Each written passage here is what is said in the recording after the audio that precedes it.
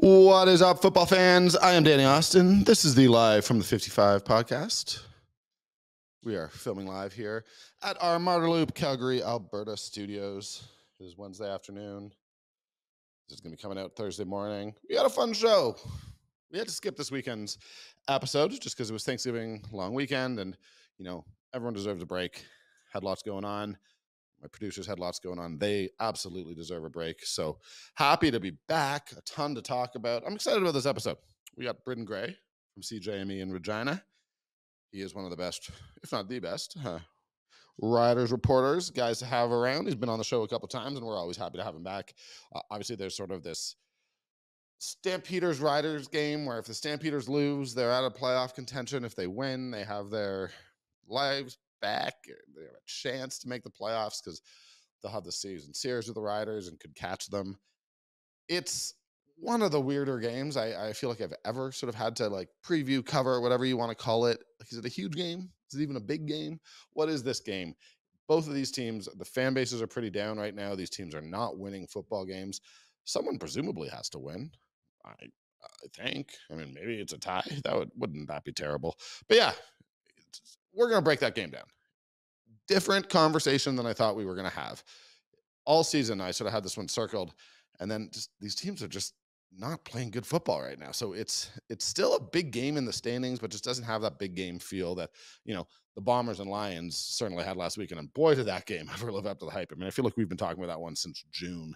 Um, you know, battle for the top of the West. There, Bombers come storming back. Lions have the chance to win it in the final seconds. Dominique Rhymes, if he'd gone down, I can't blame him for not going down. But had he gone down, Lions might have won that one. Anyways, Bomb- Bombers win in overtime. In my opinion, that's pretty much like that. That is a huge win because it means that the West Final is in Winnipeg. It's going to be cold weather. I imagine it's going to be against the Lions, who you know are a Vancouver team. The Lions certainly would have loved to play that at home, indoors, in BC Place. This very much for me just sets up the Bombers going back to a fourth Grey Cup in a row. Um, huge, huge win. That one lived up to the hype. That was an awesome game. Not sure Stamps Riders are quite gonna gonna live up to that one, but um, yeah, I just feel in general that was we called it the game of the season. Not sure any game was better than it this year. Uh, was very happy to see that real primetime spotlight two good teams battling it out. You love to see it. We will see them again in November. I can pretty much guarantee that. Um, yeah, beyond that, I don't know. The Argos did what the Argos always do. They stomped the Elks. I guess we should. No, I do have something to say about the Red Blacks and Alouettes. Despite the Red Blacks, that was an embarrassing performance. 29 3 loss. Who cares about all that? We all around here are pretty pretty high on the Alouettes right now. I think that's a good football team.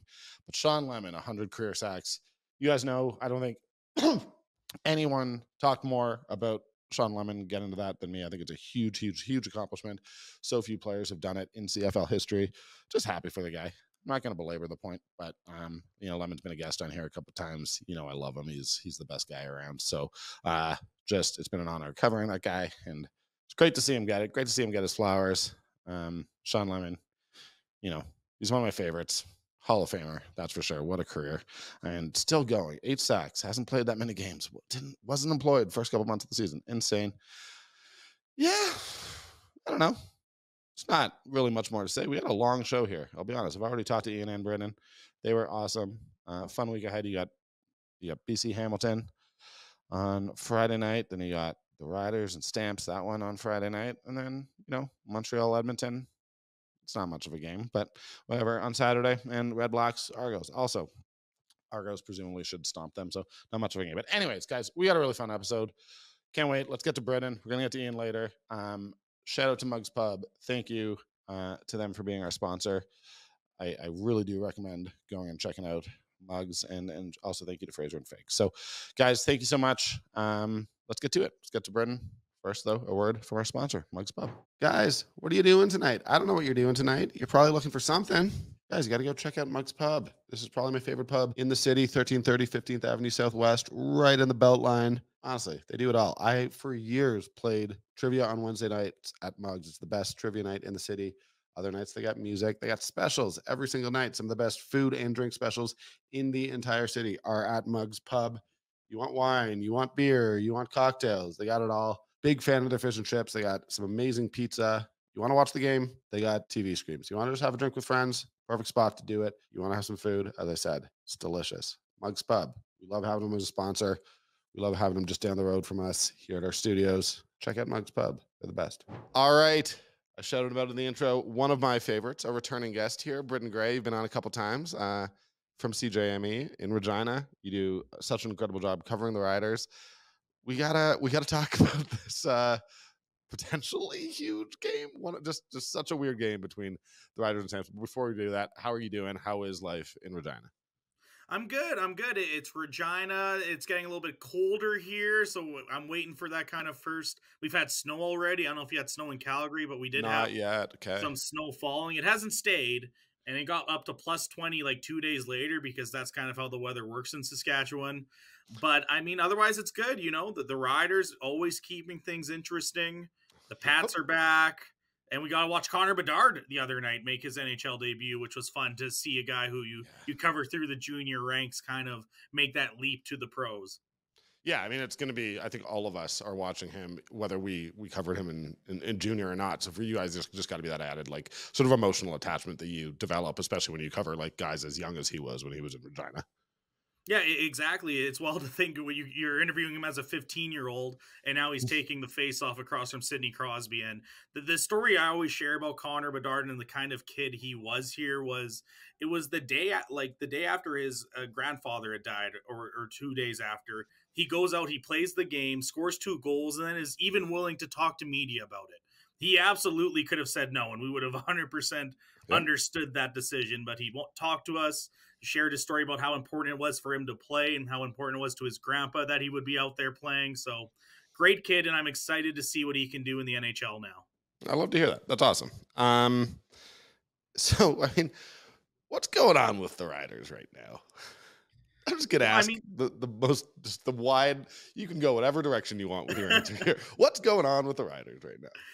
If I knew the 100% guaranteed answer, I think you could be a very rich man because I think it would help a lot of teams out if we could figure it out. But it's just recently this team just hasn't been in games. They they, they have been kind of pushed around, even with uh it goes back to the Banjo Bowl where they lost big and the Bombers put up over 50 on them. And it feels like they just have lost their confidence since then. It feels like they just haven't been able to refine it when they get down in games, there's really no, doesn't feel like there's a sense that this team can come back right now.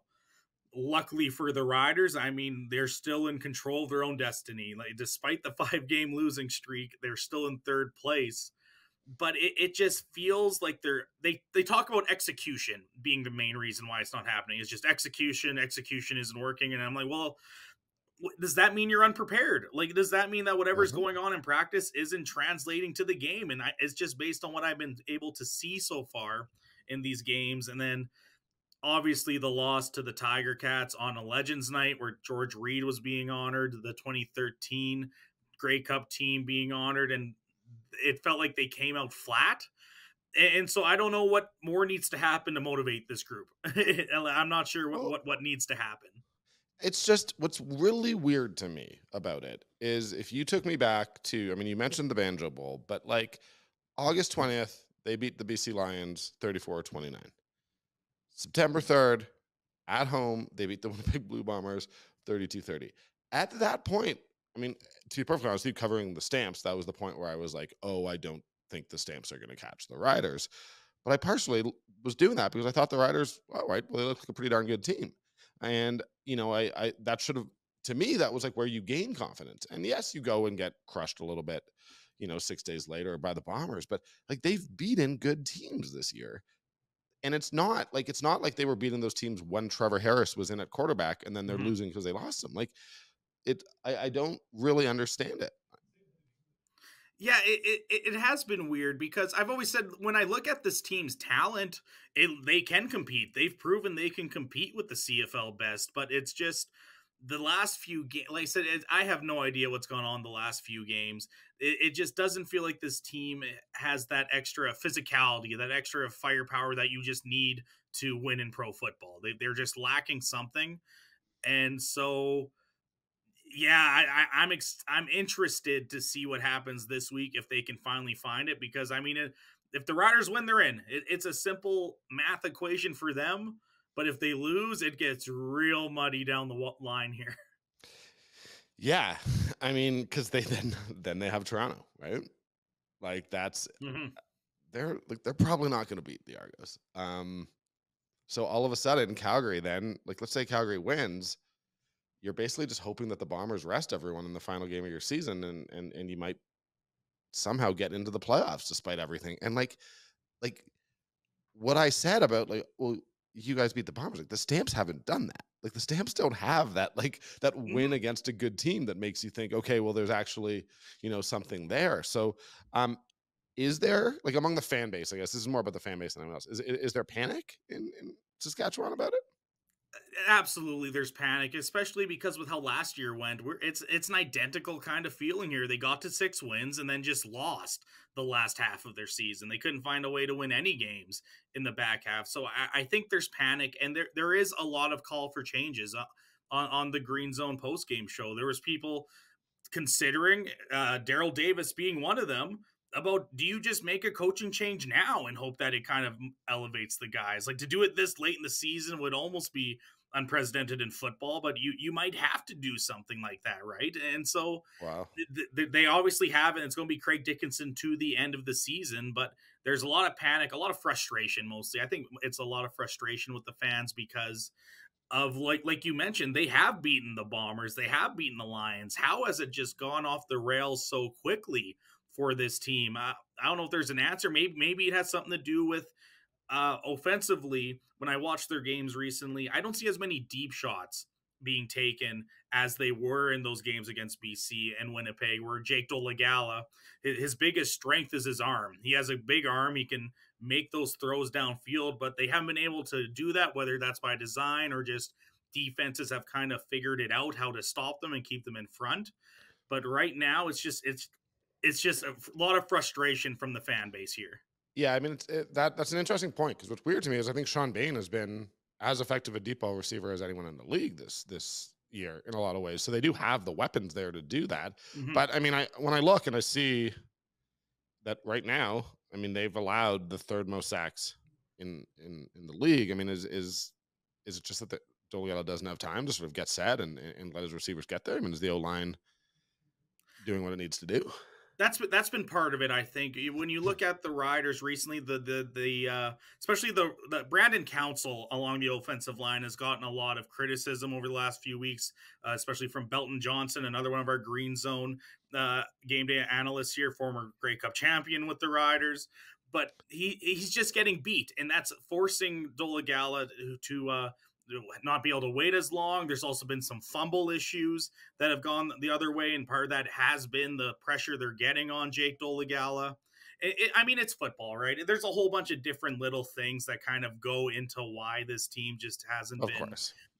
Going the way that you maybe should. But yeah, I, I want to see them get back to the deep ball, throw up some of those 50 50s too. Sam Emilus is another kind of guy who's emerged this year as a deep threat for the Riders. They have the weapons and, the defense, the, the defense, I don't know what's been going on with the Riders defense. When you're giving up nearly 40 points a game, even with a veteran quarterback leading a veteran offense, it's tough to win when they have to score 40 every night. Never mind Jake Dolegala, who only has a handful of starts.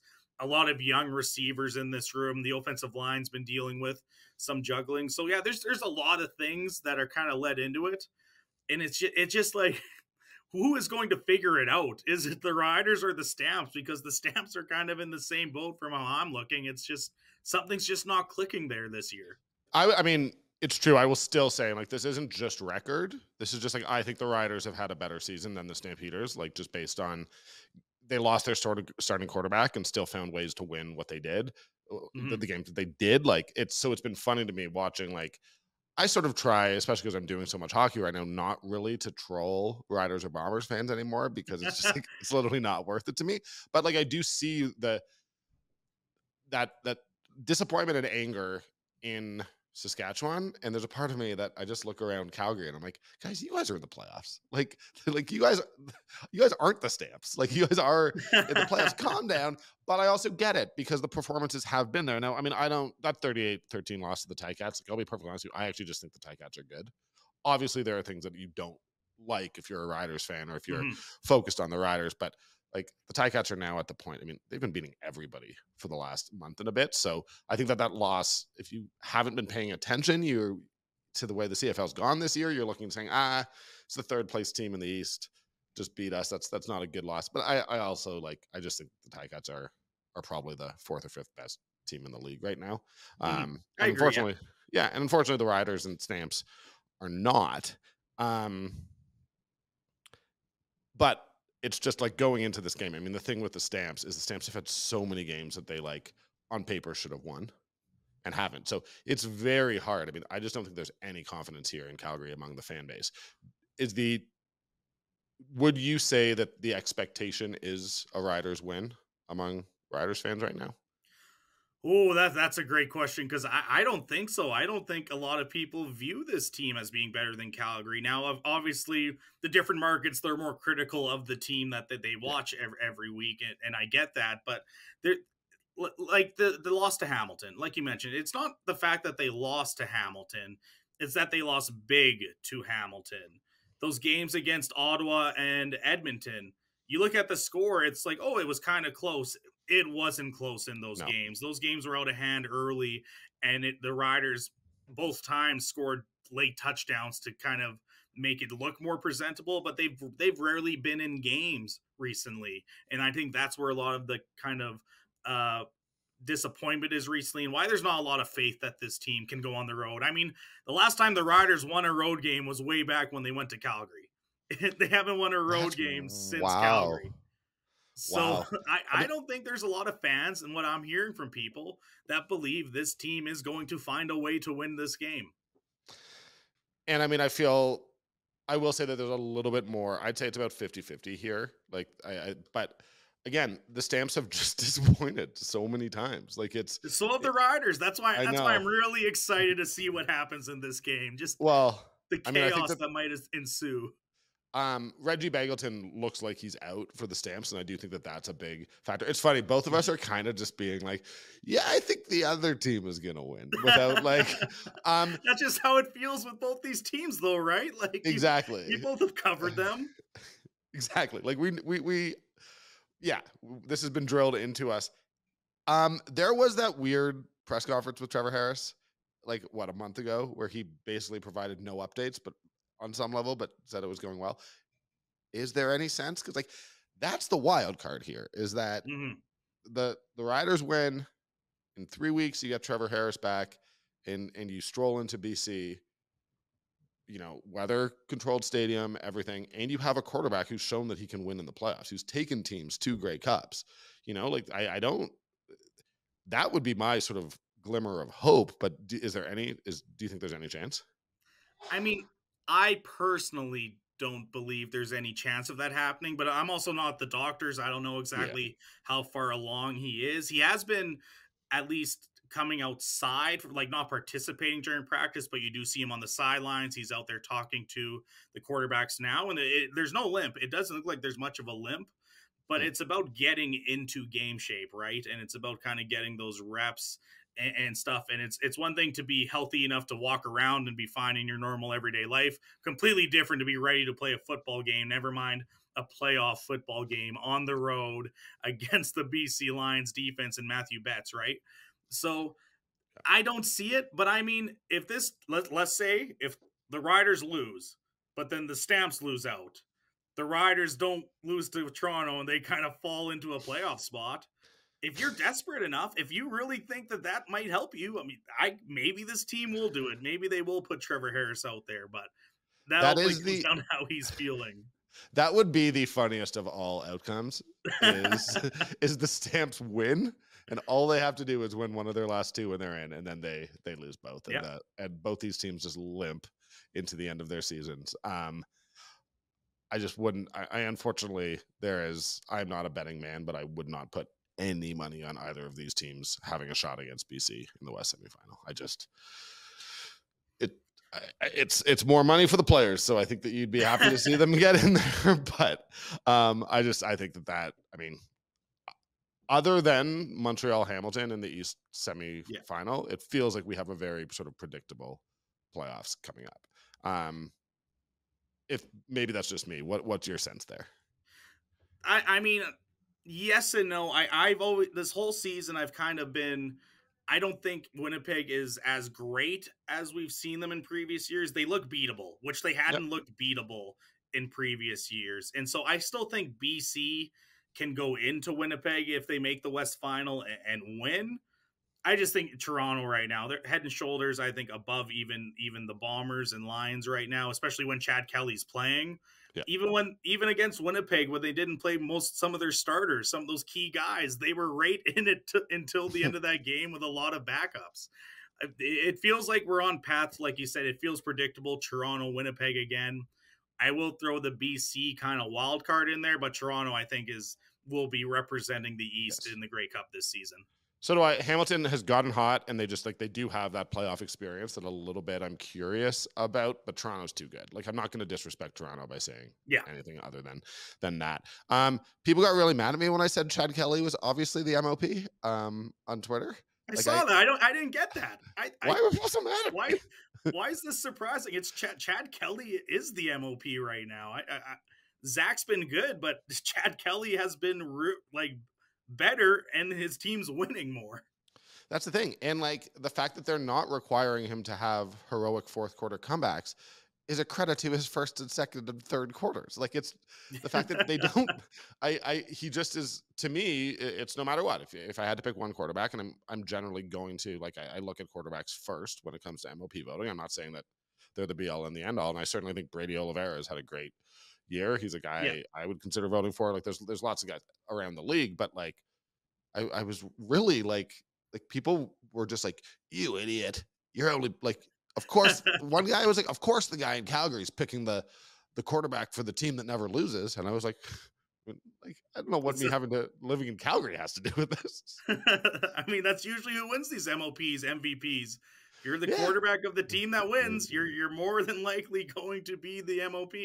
Yeah, I think. Who do you have out of the West? Right, if you're doing it right now, like I had it Vernon until last weekend, and then it's hard for me yeah. not to go with Zach. Or, I mean, I, I think we. I always, as much as I, I hate that it's always a quarterback, and so when if another player has a great enough year, I usually try to lean them. And Brady yep. Oliveira has been dynamic. Let, let's be honest, he's been by far the best running back in the league, and it feels like in re- when I watch Winnipeg games, Zach's been great, but it feels like that team goes as Brady Oliveira goes this season. So that's where I would go out with the West. I like that. That's awesome. Um, well, buddy, thank you so much for taking the time. I really appreciate having you on. You are the best. And uh, anything you wanna anything you wanna plug at all before I let you go? No, just uh, find me on Twitter at Britton Gray. We do the the Blitz the podcast. Jamie and I kind of breaking down mostly rider games. So we take a look around the CFL. We'll take a look at this game. And yeah, outside that, always great talking to you, Danny. Oh, man, always great. You. Always enjoy coming on. I really, really appreciate it. Thank you so much, man. Not a problem. Guys, let's say you're having a party. Let's say you're having a picnic. Let's say you're having any occasion. We Got to talk to you about Fraser and Fig because I love these guys here in Marda Loop. A couple storefronts down from our studio here. Fraser and Fig, man, these guys do these delicious elevated cheese and charcuterie boxes. You know, they're made with all these fresh artisanal ingredients, on demand grazing, pickup, delivery. You got it. Just let them know what you want. They will get it to you. Honestly, I'm such a big fan. I had a picnic a little while ago. I brought one of their curated boxes and it was a huge hit. I looked great. People loved it. We're hungry. They weren't hungry anymore. These ready to go boxes, they got them in four sizes. All their boxes come with meat, cheese, dried fruit, fresh fruit, nuts, olives, pickles, and carrots. Their selections vary from month to month. Choices are always new. You know, just because you've had one doesn't mean you've had them all. I love Fraser and Fig. I love having them as a sponsor. They're the best. Make sure you check them out. Tell them from the 55 sent you. All right. Ian Busby, you need no introduction. Um, uh, I appreciate that. Yes. Although I would appreciate an introduction. Yeah, from City TV, longtime Stampeders reporter for the Sun. You did it for the Herald. You've done it for just about. I think you did it for Three Down for a Three. Down Nation. Yeah, yeah. I been... was founding member there, and then I was too busy with my other parts of my life that I couldn't continue on. But they did a great job, and I was proud to be part of that. I'm proud to be part of this too, by the way. So thank you again for all the invites to uh, come and join the podcast. And I'm I'm laughing a little bit inside about you and Britton talking about the Riders versus Stamps game. I'm like, somebody's got to win this game. so you guys both don't believe that the teams that you cover are going to win this game. I have just maybe been... it'll be a tie, and that'll th- throw everything off. That would be hilarious. This team um, did; these two teams did go to overtime earlier this year, so overtime is not out of the that's question. The, the, two games between these two teams early it's, in the year were great. It, it's going to be like, what a three-three overtime tie or something. God, no, I just, I just there have been so many games where I've been like, okay, this is must win based on everything. I think the stamps, this is feels like it's the one where they're just going to get it together and they're just going to get over the line. Well, and then they don't. Yeah. And so it's just hard. Like, it's not like disappointment because I'm a reporter, I'm not a fan, right. but like, it's, I've just gone through this 10 times. I've, I've, been there with you the whole time yeah. where, and it's not, they haven't been must win because if either must win or you're out of the playoffs, this one is must win because if they lose this game, they are officially eliminated from the playoffs. Yeah. So it's it's over if you if but this, like if they lose this game. They've played a lot. It felt of, like it's been over for a while, right? So yes, yeah. Well, but the fact that they still have a chance is like, is, I think, but that's why. Why do they still have a chance? Because of what Britton's saying. So the Riders, like, it's the exact same situation. Yes. Both of these teams, had they just won one more game, like if the Riders had won one more game, the yeah. Stamps are out.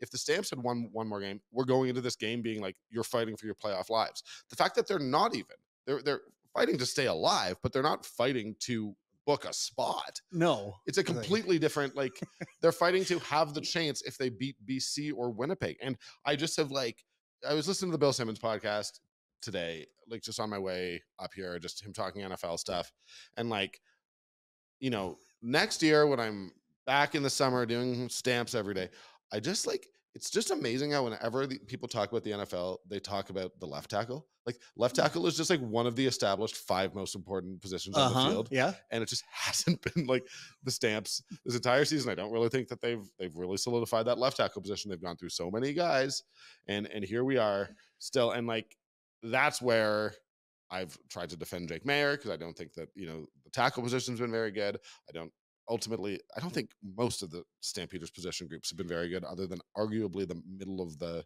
defensive line and Reggie Begelton, and then they've gotten pretty good running back play. But like, there's just so much that's been clearly broken with this team, and the vibe that I have gotten from them is that like the injuries, everything, we're kind of just ready for a fresh start next season. So it's hard for me to have any confidence when I just look and look at where they're at, how every important game has gone, you lost to freaking Edmonton in the Labor Day replay when you were up by what, 12 or something in the fourth. So I just, I don't have, I can't come in here and say I have faith. I think that it's like this season they would, what are you fighting for? You're fighting to get in and get massacred by the BC Lions? Yeah, that's basically what it is now. But it's to keep your streak alive, your 17 years of making the playoffs when when you started the season, I remember talking to you and saying, and you were like, "Oh, big stamps news! They're cutting Derek Dennis, and they're going to go with some younger guys. Some of those guys have passed him on the depth chart, and they're just going to let him go." And I thought, okay, well, they better be sure, and they mm-hmm. weren't sure. Like they weren't sure. Yeah, and they maybe Derek wouldn't have been as good, but when you had Derek Dennis in there, you feel like you still have some proven you know smarts and integrity in a leadership role that maybe you maybe that's part of what's missing on that line you maybe I mean, maybe his overall production wasn't going to be that solid but i don't the, think the interior has been as good as it was last year but i no. i don't think like but they were pretty they were think, arguably the best line in the league last year and, they were the best line and, in the and, league last yeah, year and you and like i still think sean mcewen's been playing exceptionally well. I, I, think Zach Williams and, and Ryan Seaver, I don't have any real like I think they've been good. Like and I'm not trying to like specifically target the left tackle spot, but it was it was Derek Dennis last year, and then Julian Good Jones, who's now with the Philadelphia Eagles, on the right. Like it was yeah. a, a real area of strength, and I think that it's it allowed other areas that maybe needed time to grow, that maybe needed to be better. I, I think that it there Jake had that extra second he needed in the pocket. Right. So all of those things, I just I think that the the tackle spots have been and look, they're young, and I'm not saying that they're not going to get there, but I just I think it's been a weakness for this team, and it's why like when I hear in the NFL, it's just accepted that the team with the best left tackle It's gonna- is, Is gonna a, be amazing. well, and that that's where you put your resources and money, right? You put it into left tackle and defensive end and a Yeah. top receiver and a quarterback, like because you want a level players at those positions. I think the biggest mistake, or maybe it was not a mistake, or it was just the thing that was not going to work out, was when Derek announced his retirement before the season and said, "This is going to be my last year." Mhm.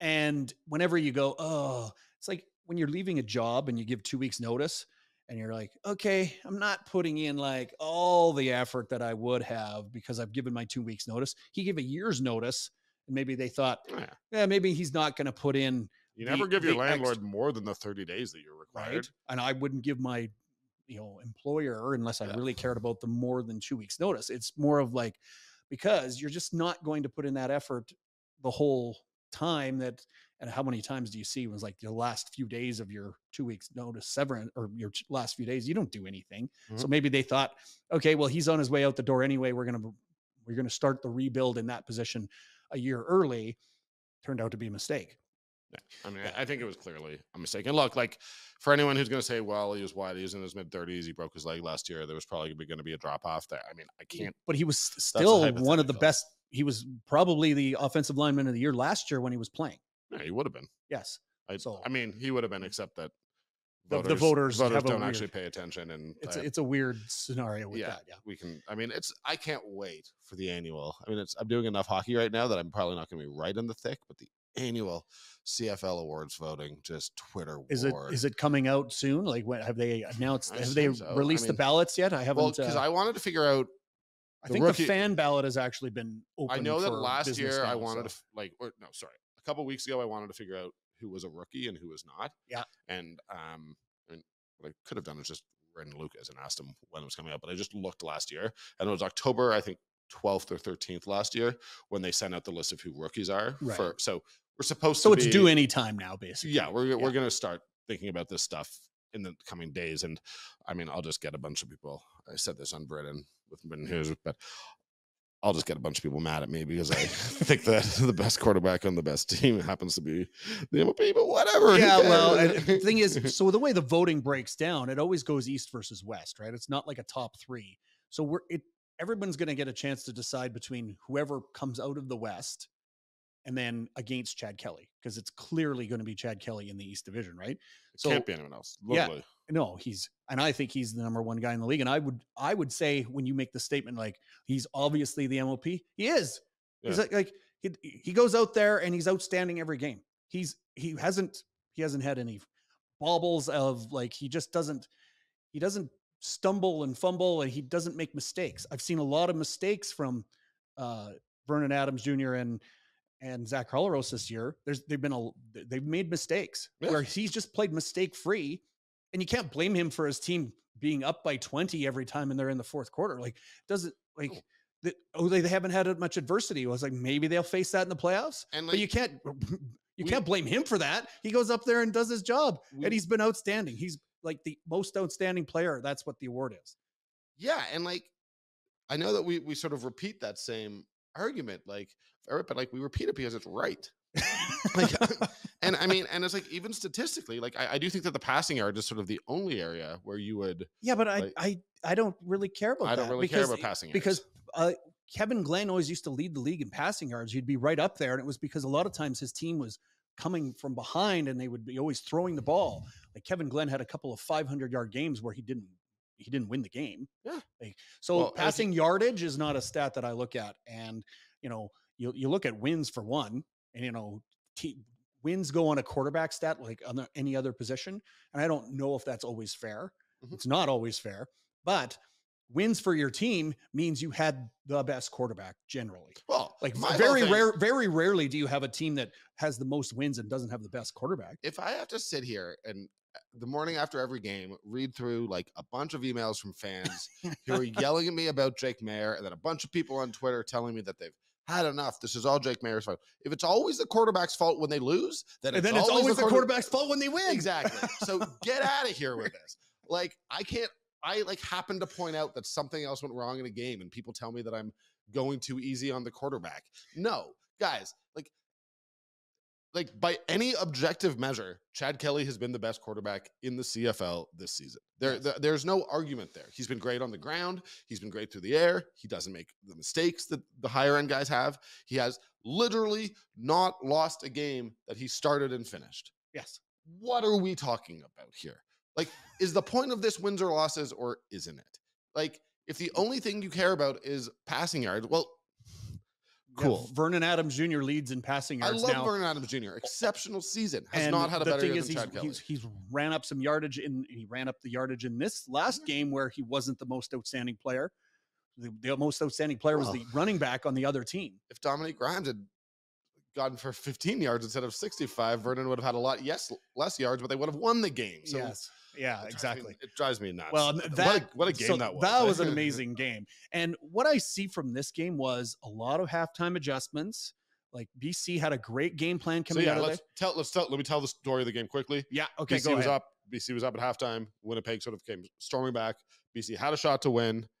Star receiver Dominique Rhymes went for the touchdown instead of going down before the clock expired, so they could just kick the field goal to win, and then Winnipeg wins in overtime. in yeah. overtime. And I will say that it felt like, like you can't blame Dominique Rhymes. I don't think he thought there was any time left on the clock. Like he he's like catching a ball, running full speed, going, wait, should I fall down right oh, now? to-" also I can was see like- my path to the end zone. I'm a Yeah, receiver. Like yeah. that's how and he just made a just a tiny stumble, and the guy caught him, and it was like, But it it was it was it was you know frustrating to watch for Lions fans because it was like, okay, they've had hardly anything going in the second half. They have the big play to win the game, and it just falls short. And then It was- it was riveting, but it also for me, like we we talked about this a couple weeks ago. We're like I said, we both said the winner of this game, like the Lions don't want to go into Winnipeg in November. You just don't want to play the West Final in a cold weather city outdoors where the Bombers have been practicing in minus 30 for two friggin' weeks and you've been like picking flowers and and feeding hummingbirds or whatever they do in Vancouver. was it hummingbirds or go- seagulls? I thought it was seagulls. I, I don't know. I was just, you like- don't feed it's the seagulls; warm they'll, weather they'll never leave you it's alone. a warm weather bird. I don't know, but like, so I this was, in my opinion, this was a season defining. That's not to say that the Lions can't win, but this was a huge win for the Bombers, and you could sort of feel the season go down. But you were saying what you saw from the game. Well, and what I see from the game was okay, so they go into halftime, and Winnipeg has a very veteran coaching staff with a veteran team, and they knew exactly what was going to work in the second half. They came out and did that. They they managed to make that pressure on Vernon Adams Jr. like make it count because he was moving away from the pressure in the first half, and then in the second half he couldn't move away from that pressure because they came brought it from different spots. Really nice game plan. Richie Hall did a good job of like, okay, we got to we're going to bring the pressure to him that he can't escape from. And the Is it good- Bombers' defensive ends, even when they're not on top of you, they do a better job than anyone in the league Just of getting, in those up. lanes They and get their hands up, and you and don't have your passing lane. there's no passing lane and they figured out okay we're going to send them down the passing lanes and bring the pressure from different areas and it was great then in the offense said wait we're going to just one run one play over and over and over until they stop it and they never stopped it it was just a screen pass or a handoff in the same sweep to brady oliveira they got him out in space every time and um, like eight nine yards eight nine yards eight nine yards and they were just basically He's so good. yeah, it's like, okay, dare we're daring you to stop this. Mhm. And how do you know not know what's coming?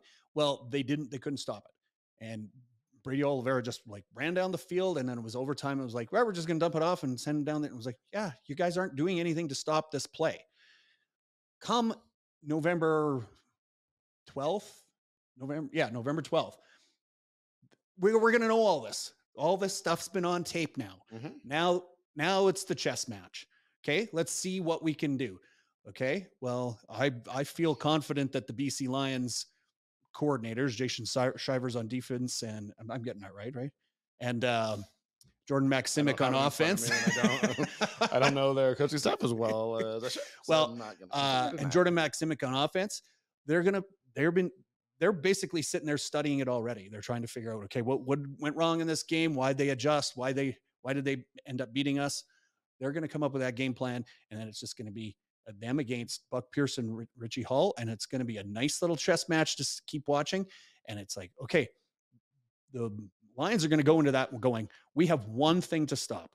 We're going to stop Brady Oliveira and make Zach Collaros beat us. And we figured that he's going to give us a couple of mistakes and we're going to have to take advantage of those. That's the way I, break that one down. Now I'm I'm fully expecting Winnipeg beats Edmonton next week, clinches first place. It's all over.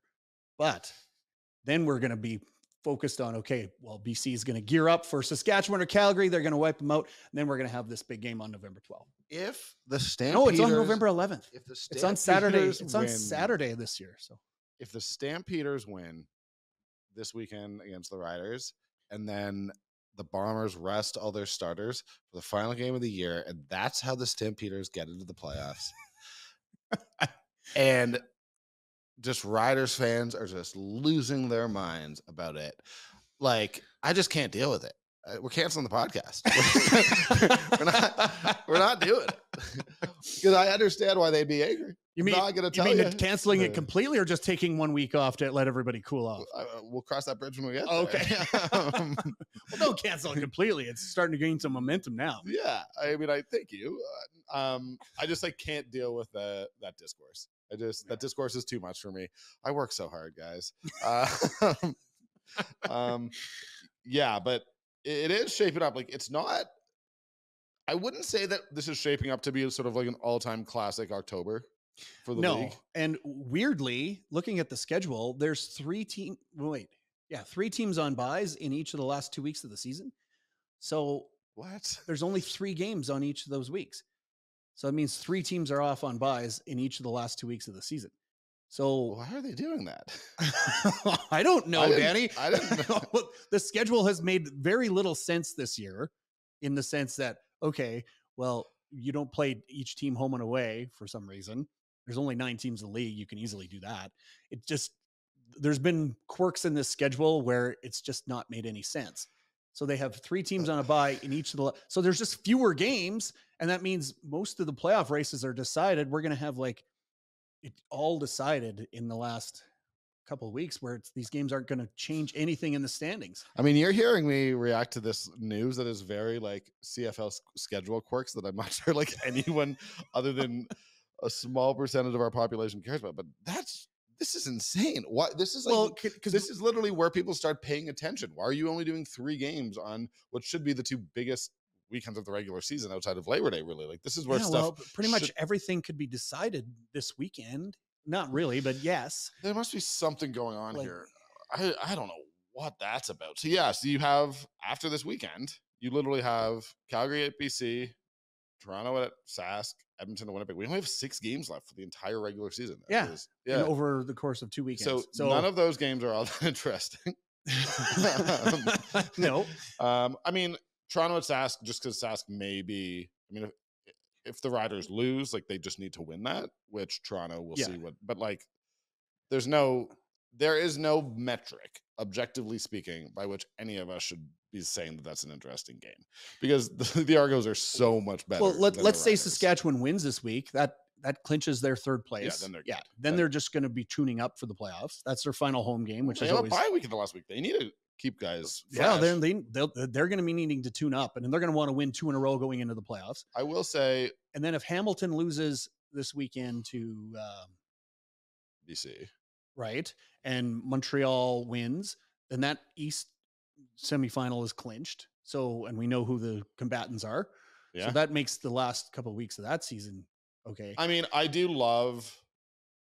I, I hope that this game is relevant, but like I do like Hamilton Montreal uh, final weekend of the year. Like that's that has potential to be a really fun game if there's something up for grabs. If there's home, Right. If there's home field up so for grabs. the, the If not, they're just going to close down their playbooks and not show each other absolutely anything. Yeah, well, and that's that's the problem because Montreal already has the season series against Hamilton, so all they have to do is remain one game ahead of them heading into that week, and they will Mm. have it all all Oh. wrapped up. Jeez. And they have Edmonton this weekend, so they're going to remain. All right. Well, that game's not as much fun as I thought. Ah, man. This is. I didn't mean to take the wind of the sails here, but Well, uh, no, but this is. I mean, this is. but this is why I'm like, okay, Legitimately, let's. it's a little bit of a a bummer month to be honest like given that oftentimes we're heading into mid-october and it's like particularly as a, the guy covering the stamps. Normally, it's like they're battling it out for the top of the West. There's games that are, you know, Right. there have been years as recently as I believe 2021. No, would have been 2019, where like literally coming into the last weekend of the year, the Riders, Bombers, or Stamps could have had the West Final. yeah, that one that one was a fun year because it came right down to the wire, and then um, and now there's just not really Calgary got the that. home game, and it turned out to be the coldest day in the history of mankind. Yeah, that, So that day was awful. Um, yeah. That day was terrible. I do. I mean, it's just weather talk with Danny and Ian. Today's the first day where it's like, ah, it's rainy. Like it feels like our Yeah. extended summer into fall is over. So yeah, but it's um, still fairly mild out there. It's that's not bad. nice. It's Yeah. nice. Um, I just like as I walked into the Saddledome this morning and it was just pouring rain and I was just like the most miserable I've ever been in my life. Um, and, um, Are you? Are you? Is, is, is it because hockey season's now and you got overlapping? no, I you have just- overlapping teams that you're trying to pay attention I was to. cold so- and wet, and Yeah. I have stuff going, like not bad stuff, but I have stuff going on. So I'm quite busy at the moment, and I was just like tired. And like I'm walking in for morning skate the night before, and like this is way too inside baseball. But the thing is, like this morning's practice, whether this is for football or hockey or any sport, is the most irrelevant thing for me to write off of because we've just Mm. finished training camp. We're finally actually going to learn stuff tonight. So anything Right. I write this morning, which we need to do for our deadlines, is completely irrelevant relevant for for yeah. in in a couple hours and no one's paying attention but people they just want the game so i was walking sort of miserable and then uh this is just story time nothing to do with football um and then so i went out to my aunt's buffalo ranch um Mm-hmm. for thanksgiving on on sunday and like like clockwork this is something that happens every time i go out there for like three weeks i just like drop agricultural facts as if i know what i'm talking about and i just like it's like three people this morning at the Saddledome, like security, all that. I just like talked about how well it's good for the drought. You know, hasn't been the grass hasn't been growing that much this year out on the ranches, um, and so and I just pretend like I know what I'm talking about, but like I feel really tough. Um, so, now, now you're Yeah. farmer coming in from the fields from the end of the the farming season, and now it's hockey season, right? exactly. Yeah, there you go. Yeah, give me my Okay. truck and my Well, I still think it's football season because that's I what I, care chug most about. But I chug pints of oil right out of the ground. Um, yeah, did did you realize that the playoff games are on Saturday this year? Because I mentioned that quickly, and I I, did didn't realize that. that. I always think it's going to be Sunday, and it's not. It's I- on I mean, Saturday. I like it Sunday because it's tradition, but I don't know that it makes a huge difference to me that it's Saturdays. And Yeah. like they're trying to avoid the NFL, and That's know, fine. Like, Yeah. what am I gonna say? And it gives them the extra day after the West final, East final to get the teams ready to go to the Grey Cup. To go to So, Hamilton. um, did you see the news that Edmonton is closing the Upper Bowl at Commonwealth next season? Neck for ne- all of next season is Yeah. that that's what They're plan not selling is? tickets for the Upper Bowl at Commonwealth Stadium for Huh. Elks games. Doesn't bother me in the least. No, uh, I think it's big enough on the the bottom level that they're still going to make. If they fill the bottom level, you get a bet, better atmosphere and you like make the crowd look bigger, even if it's the same. Yeah. But uh, yeah, I know a lot of people though that they love their first row, second row, third row, upper bowl seats, so they're not going to be happy. Yeah. But I I mean, and that like that people have every right to Yeah. that to that particular like oh I love my seats I've been going here no no Yeah. argument for me I get that I now that it's going to be the entire upper bowl or just yeah, that's uh, what three down was like- saying Okay, Um, that's Yeah. what three down was saying. My whole thing is that, like, look, if you have been at that stadium over the last couple of years, you know it's been pretty barren. Yeah. Um, and it's It's similar to what the Stamps did this year. It is a big stadium. Um, that like ultimately this is this is for the best, and we have to acknowledge where this league is it at is at in Alberta right now, yeah, which is just that it's not selling out these massive stadiums that are pretty old. And the Commonwealth's great; it's not nearly as bad as McMahon, but it's still old. Yeah. like it's still an old school stadium. Mhm. And the thing is, there's no telling that okay, if they host a playoff game, they can't. They, they can say, "Hey, we've we've opened up the first ten rows of the upper deck for the playoffs." Like wait, you, you can you can do that. It's not gonna. they're not permanently closing it. No, Like, it's, like, they're just tarping it for a while. Yeah. So yeah, and it, that- it's disappointing to like the way that it's gone in Edmonton, but they are, the team feels like it's on an upswing now. It's un- unfortunately that they took too long to figure it out. Spent the first half of the year. you saw that tripping- Trey tripping Ford over the- touchdown on Friday. Oh my god, he's he's unbelievable. he's still he's still the best highlight reel in the league right now. hundred percent. So I I would say let's not worry too much about this. Maybe it's a down year and they're trying to create a bit of an atmosphere in their lower bowl. And you know, when you go and sit and there's nobody in your row and there's nobody around you, No. it doesn't you don't have the same type of atmosphere sitting in the stands as someone who's only sat in the stands for the last few years. I'm like, if I go to a movie, I want the theater pretty much empty. Like, like oh well, you should buy out the whole uh, theater then. I've, I've become I've become quite a grump when it comes to movies. I need my aisle seats, and I like it empty. I don't. I, that's why living across from Eau Claire Cinema is the best. oh yeah, because nobody, goes there. and they're going to tear it down. Although I won't be living there anymore, but like still, um, but sports, I want there to be the biggest crowd possible. Right. And look, I think they're going to rebuild. Like I, I have full faith that Edmonton, with there's a calm there with Victor not there that I think we're already sort of feeling. I think Victor, the energy, or sorry, uh, Trey Ford, the energy he's brought is real. I don't want to be a Debbie Downer, but I'm just increasingly convinced. Like, why wouldn't an NFL team take a shot on him? Like, guy with that sort of athleticism, they don't come along. He may not end up being your starting quarterback, but like with the way the NFL is going, and they are so much more sort of like innovative with the way that they use guys on the ground. Um, Well, and Trey N- probably gonna be in NFL the has, NFL hasn't like taken the whole short yardage quarterback thing that this the CFL has done over the last 10 to 15 years where every team seems to have a short yardage guy, you know, and well, that's because the Eagles can just throw in Jalen Hurts and he got four I- yards on the ground. yeah, and then like the tush push and yeah, just- and that's going to work until one of these franchise quarterbacks gets hurt and then they're going to but reconsider it. Why? Like, So I genuinely, there must be a reason why, and it could be the yard off the ball. I don't know, but like, I honestly just expected that to be like, cool. The Stampeders only need eight yards now right. on first and second down, and then they'll just give it to Tommy Stevens and do a tush push, and you got your yards. yeah. And it just hasn't happened. I don't, and I don't know why. And I, that's actually an interesting question that I'd love to ask a coach, like why it hasn't crossed over here. Well, you you do have to have a, like so f- the Philadelphia Eagles are the ones that do it the best. Yes. And it's because they've got a jumbo offensive line. So they can throw their tight ends and fullbacks in behind and just follow those guys all the way. Mhm. Not everybody has the the um, offensive line to just get that push off the first yard and then they just push the quarterback all the way through and it's 2 Mhm. two yards or whatever.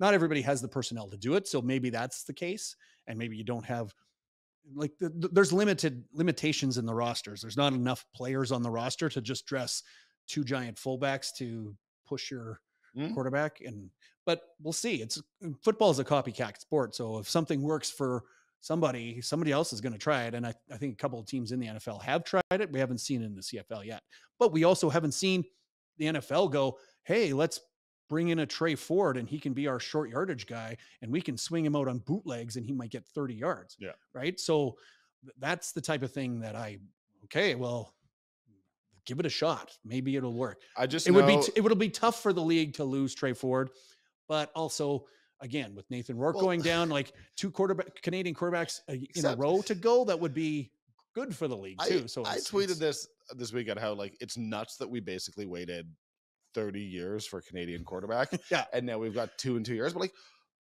it just sucks that like it doesn't suck. It's amazing and it's great. And none of this is an actual complaint. But like we got two of them and they were so good that they're not sticking around the league. Just Yeah. give me a mediocre Canadian quarterback. give me a, a, a that was Brandon of- Bridges Yeah. or No, but I'm talking like and mediocre is the wrong word because these guys No, are no. so talented. But like like like like good good enough to start, but not like that he's going to get plucked to the NFL. Give me Like, yeah. Canadian Trevor Harris. Like, Yeah. You know what I mean? Like, uh, Well, maybe think not your MOP, but like a very good quarterback in the league who isn't just going to go to the NFL. That's all I'm asking for. Well, and I think uh, eventually we are going to get to that level, like because you know you you know Nathan Rourke's little brother is coming up. Maybe he's the guy that's going to come in and start. up. He's not. He's going to go straight to the NFL He's too. to the NFL.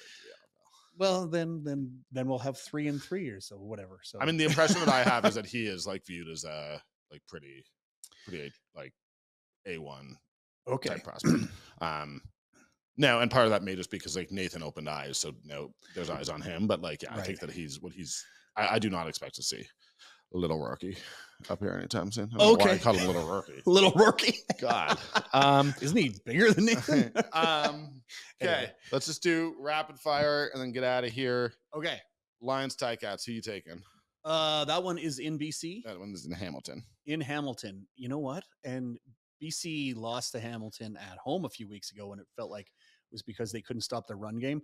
BC's had the weirdest season. Yeah. Like And- there have been and- moments where I've actually been like, oh no, they're just bad after like a couple games. And then Well- they come back and I'm like, no, they're not bad. They're pretty good. like how do you how do you repair a run def- run defense or a short yardage running back defense in a short amount of time so that's what the lions have to figure out when i mentioned earlier how they lost to the bombers they're going to need to figure that out oh man that was a tough one that's a coin flip honestly I'm taking the Tigers. I think the Tigers are really good right now.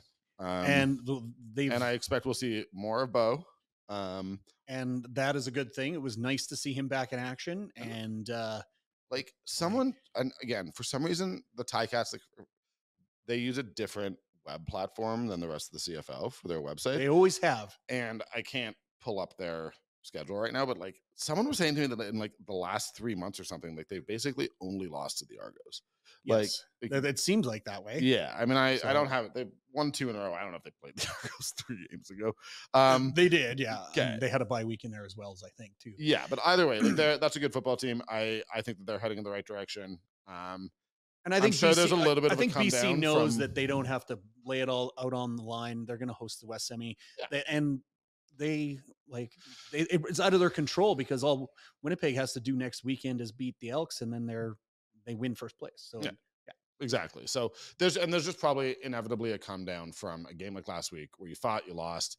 Um, you know, you come back into work, you work hard, but you're probably just a little bit down. So I'm taking the Ticats there, and I am legitimately. I will say that, like in a very short cameo, I did think Bo looked pretty decent out there. So Yeah. um, that was good to see. threw for big yardage in uh, just a few throws. So Uh, we're gonna finish with riders stamps, but I will go. I mean, Montreal, Edmonton. This is obviously Montreal.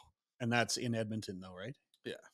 So that all depends to me on Montreal uh, the Friday night because Hamilton. If Hamilton loses, then Saturday Montreal is like, well, they, they don't need to.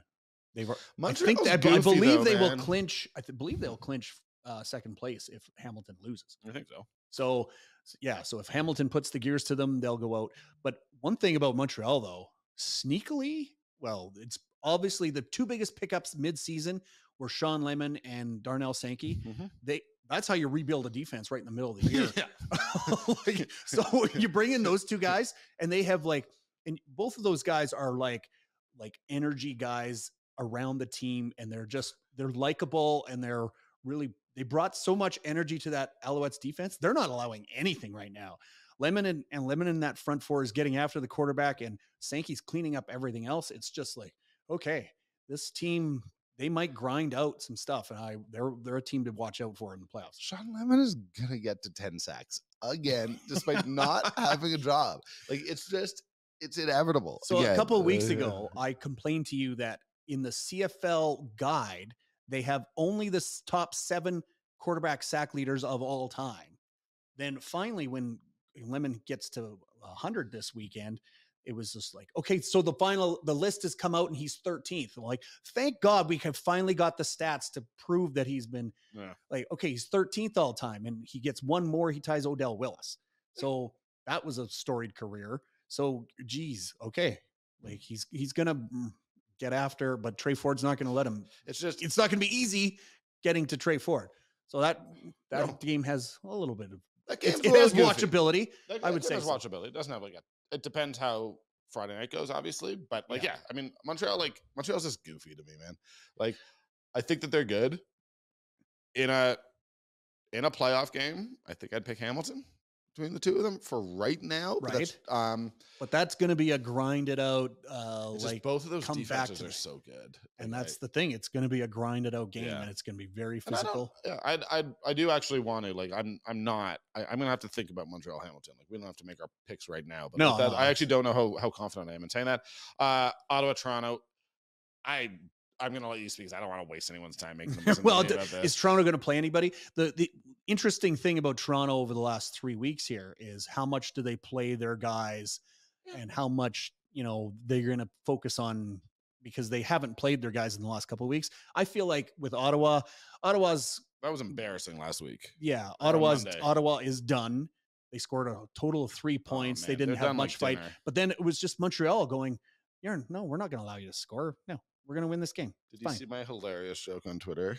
I I don't know. You have so many. Which one are you referring to? Uh, like this Ottawa I don't know CTV or something. I should probably know his reporter was like, would have been impossible to believe as the Red Blacks walked off the field following the 2018 Grey Cup that this is how the last five years would have gone. And I was like, more of a slide than a walk, really. 'cause it was so icy. Love that There joke. Love go. that joke. Oh, wow, Gotta, gotta was make it Edmonton real deep there. conditioning. Yeah, I still I still feel like Toronto's backups will roll out of bed and, and whip Ottawa this weekend. And you know, I think you still have to play Kelly and and the starters, and you just have to like keep them sharp. Yeah. You know, and I I think they I think they finish up with Ottawa at home. Like they've got two games against Ottawa, and that's the rest of the season. That they could get to 16 wins, right?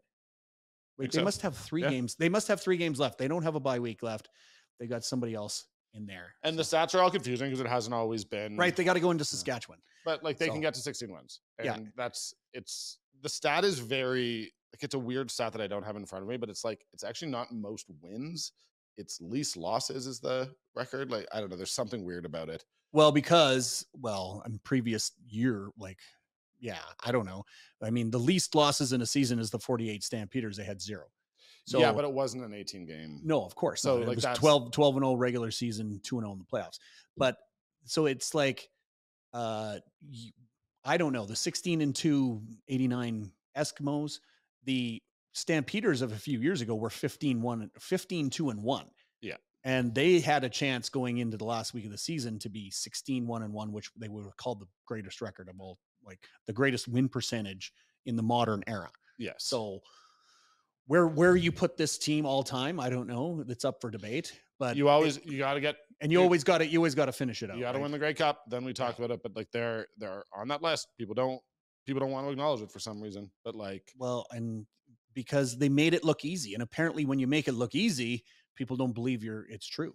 no. So Finally, we're not going to do any more breaking it down of it than we have. But rider stamps, who you taking? and you say Reggie Begelton is out in this game?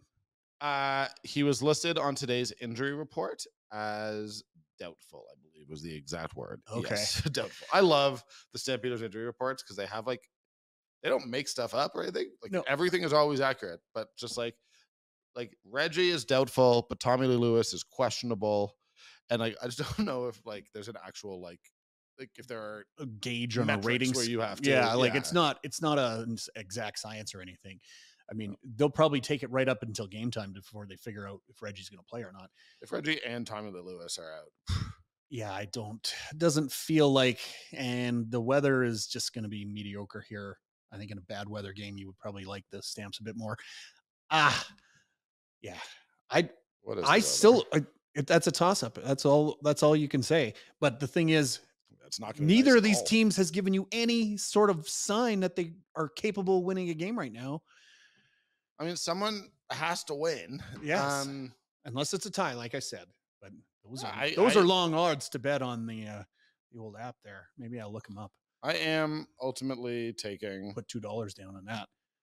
Um, yeah, I'm. I I'm taking the Riders here. Um, I think the stamps will pull it out then. okay. It's their I just think that like the Stamps have had so many opportunities to show me that fight when they've like their backs have been against the wall. Maybe not full do or die, maybe not must win in the like pure Right. sense of it, but like games where like they just haven't done it. Like they've just lost that fight. yeah. And like sure they get back up. well, and they they coming off a bye week, and they've generally in They're their terrible history, coming off bye weeks their recently. history have been like previously to mm-hmm. this year has been much better coming off bye weeks. So, yeah, but maybe they all have gone and they're like, oh, I can't wait for off season. We got three more weeks left. Yeah. yeah, I don't know. You would you would hope they're going to come out with some punch in the mouth because like show some fight. Like What's the thing, man?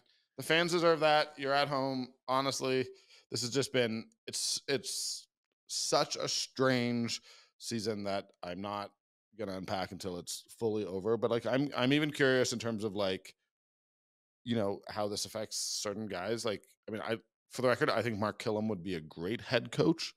Terrific. I think he already should have been hired. But like, given the way that the season has gone, it's likely like like his it's not a knock on him. It's I'm not saying that, but like, he's likely a slightly less attractive candidate right now compared to a year ago. You know, it, this really affects people like in a real human way. Um, and again, hire Mark Kilam. I think Mark Kilam would be a great head coach. I'm I, I know. I think we've been saying that for years. but like you know what I mean. So there's just so much that I'm I'm had it hesitant on. But they, man, the Stampeders team, they they've had so many chances to show me, and they just haven't. So I'm Yeah. picking the Riders, who ultimately. All right, I'll take the stamps, and we'll see at the end of the weekend how we're doing. All right, buddy. Uh, Ian, anything you want to plug? Anything you want to throw to? Uh, no, not I don't know. Especially, I've been uh, doing sports on uh, the weekend, so I'll be doing the updates for you guys mostly during the afternoons. But uh, that's good fun. I get to talk about sports in the afternoons again. I I'm- love that. I'm buddy. excited about it. You're great at it, and you're you're my favorite guest. So thank you for coming in, um, guys. I'm not going to do an outro. I'm just going to throw to the end of this. But uh, thanks to Mugs Pub. We love them. Check out their. They got tons of specials. They got everything. Mugs Pub Wednesday night. I'll see you guys at trivia pretty soon. I'm gonna gonna stop by. Not tonight because I have the Flames game. Thank you to Fraser. Thank you to all of our listeners. Thank you to Ian Busby. Thank you to Britton Gray. Peace.